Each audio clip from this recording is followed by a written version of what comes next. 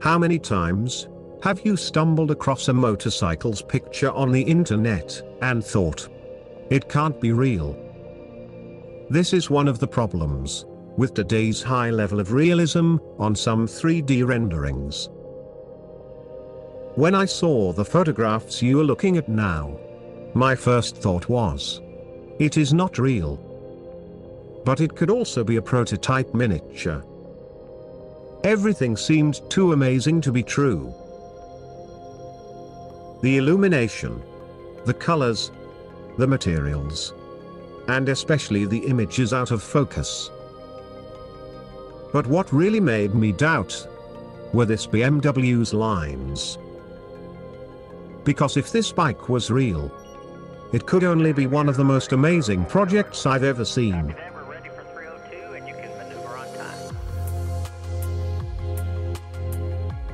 Welcome to Racer TV. So, you still have doubts that this bike is real. Don't you? The truth is, it is real, and it looks fantastic.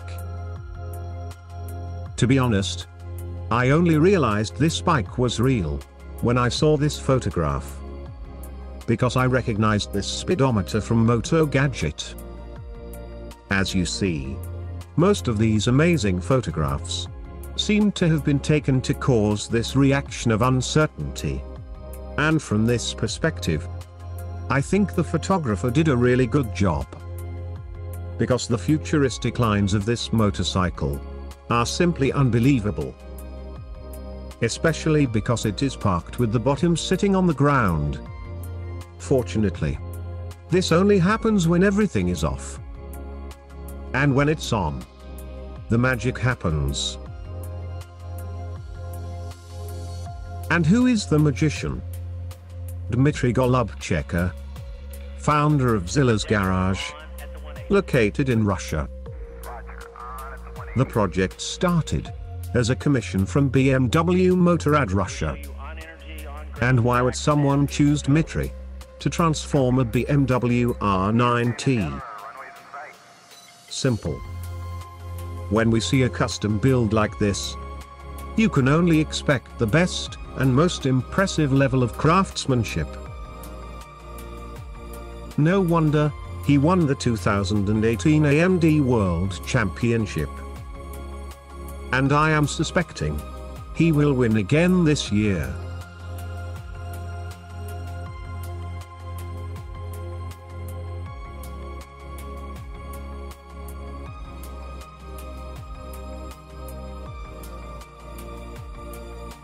Did you notice where the disc brakes are located?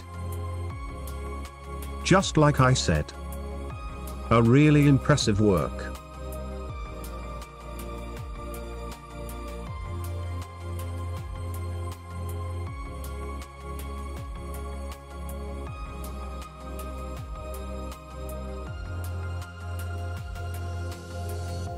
So, getting back to the BMW. I have to say, I don't remember seeing anything like it. We can find some lines used in the past, with other amazing motorcycles. But this one, has something else.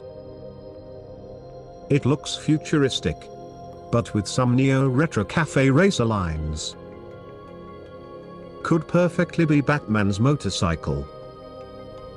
At least, it has enough room to install some hidden guns.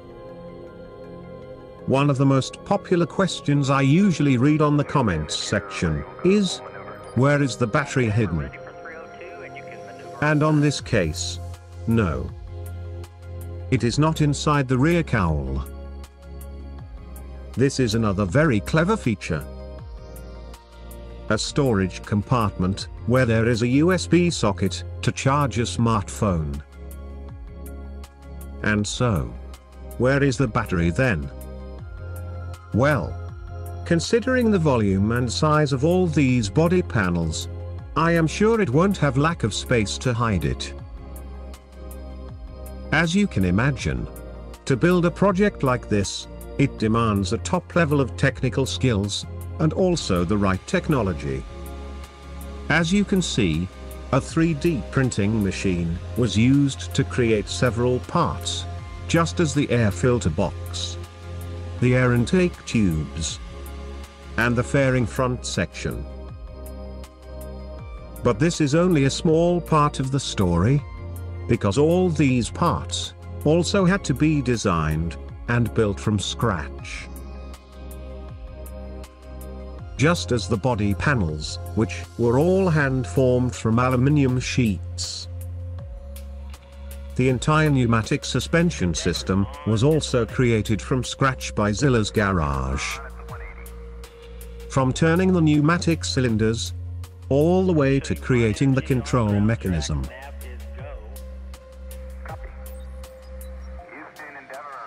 The project began as a CAD drawing, which was made by Mikhail Smolonovim, in cooperation with John Red Design. Some said that these lines have some steampunk flavor. But the truth is, the inspiration came from the world of aviation. If we compare the initial rendering with the finished project, you will notice some small differences on the front. The windscreen seems like a good and useful solution. But what I want to demonstrate is how a small difference in the proportions may have a huge influence in the final stance of this motorcycle. As you see, this front section on the rendering makes the motorcycle look more modern. I don't know if this change was made on purpose, or if it was a technical necessity. But personally, I think it ended up way better than the initial project. The fact that the front is now wider and less aerodynamic makes the bike look more retro and less modern. A very subtle detail, but one that makes all the difference. I must say, I have seen and presented many impressive bikes on this channel. And this will be one of those, I will never forget. And something tells me that BMW Motorrad will do the same. Thank you for watching Racer TV. And as always, I hope to see you on the next video.